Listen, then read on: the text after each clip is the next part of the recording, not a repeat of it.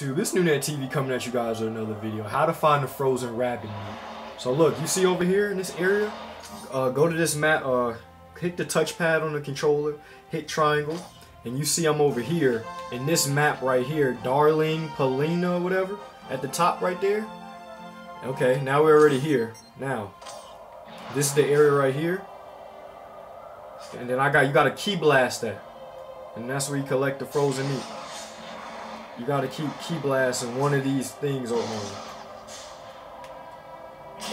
See, look. I just. This should be everything. See, and to head back to Chi-Chi. see, and I just got the frozen meat. I'm about to upload this video for you guys because I just found this out myself. And I want to help. I want to spread the word for people that's trying to find this as well because this game is very tricky. I'm trying to tell y'all, but uh, yeah, that'll be it for this video. Make sure you guys hit that subscribe button. I've been trying to find this frozen rabbit meat, bro. Like today for like I've been searching for like 30 minutes, yo. It's people that said they've been searching for this for six days. I'm like, oh, that's crazy.